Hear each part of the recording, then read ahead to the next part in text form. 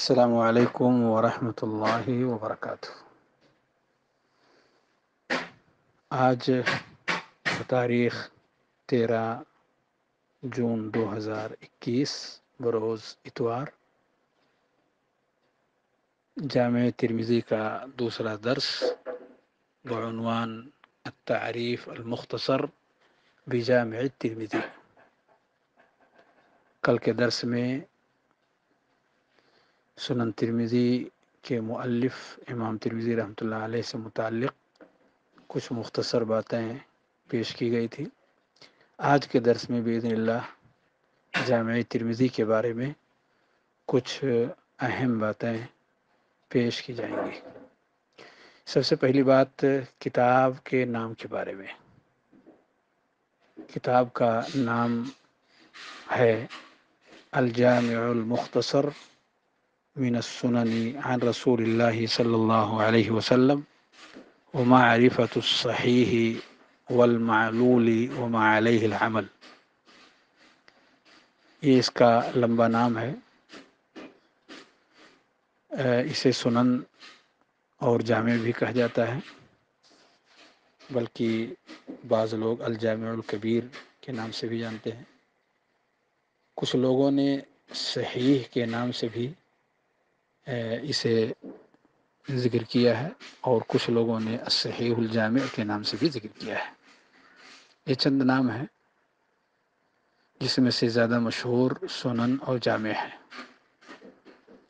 جامع اس لیے کہا جاتا ہے کیونکہ آٹھ قسم کے موضوعات ہیں جو اس کتاب کا حصہ بنے ہیں۔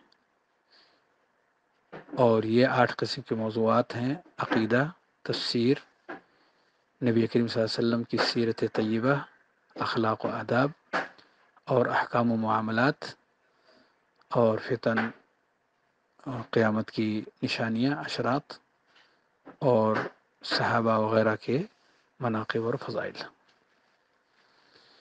یہ آٹھ قسم کے مسائل ہیں، موضوعات ہیں جو کسی بھی کتاب کے اندر اگر پائے جائیں تو اسے محدثین کے یہاں جامع کہا جاتا ہے۔ اس جامع کا یعنی امام ترمزی رحمۃ اللہ علیہ کی اس کتاب کا مقام ائمہ کے یہاں بہت ہے۔ خود امام ترمزی رحمۃ اللہ علیہ اپنی اس کتاب کے بارے میں فرماتے ہیں کہ اس کی تصنیف کے بعد میں نے حجاز، عراق خوراسان کے علماء کے سامنے پیش کیا۔ اور انہوں نے پسندیدگی کی نگاہ سے دیکھا۔ اور یہ کتاب اگر کسی شخص کے گھر میں موجود ہو، گویا کہ اس کے گھر میں نبی ہیں جو گفتگو کر رہے ہیں۔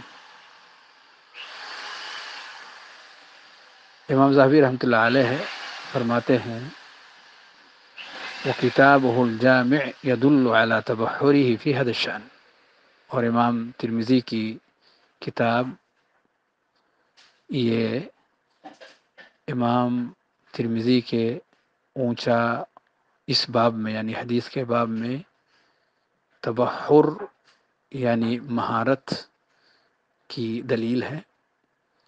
اور حدیث کے ساتھ ساتھ فقہ کے اندر بھی اور مسائل میں اہل علم کے اختلاف سے متعلق بھی یہ کتاب ان سب چیزوں کے لیے واضح دلیل ہے۔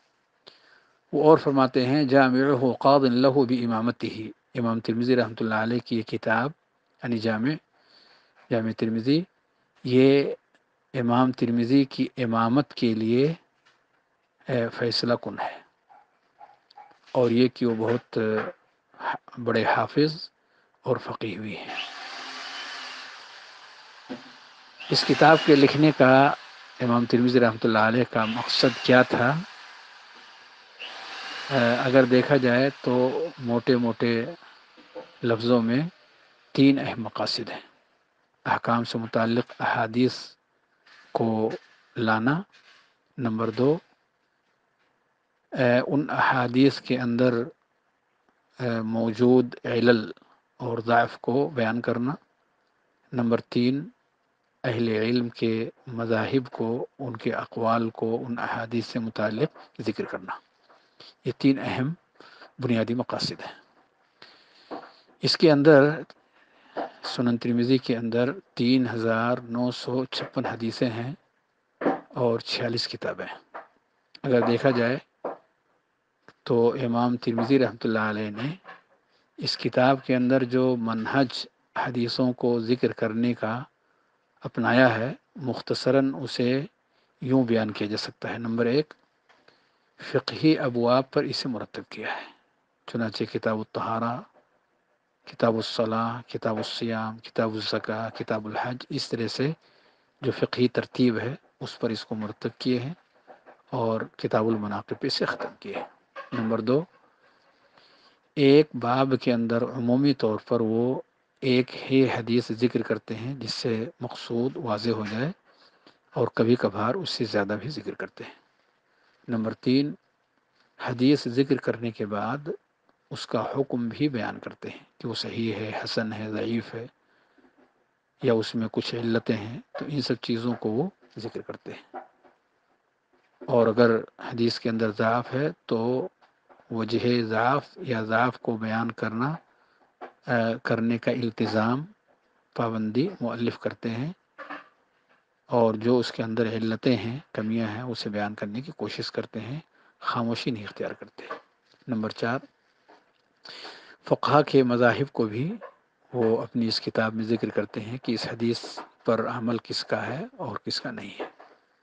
نمبر پانچ، باب کے حدیث کو ذکر کرنے کے بعد مؤلف اس مفہوم کی دیگر اس مفہوم کی روایات جو دیگر صحابہ سے مروی ہوں، ان کا نام بھی ذکر کرتے ہیں۔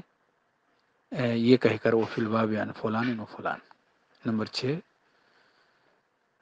راویوں کے نام، ان کی کنیت اور ان کے القاب حسب ضرورت، وہ ذکر کرتے ہیں۔ اسی طریقے سے رواز سے متعلق کلام اگر کچھ ہے ثقاحت سے متعلق یا ان کے ذات سے متعلق، تو اسے بھی ذکر کرتے ہیں۔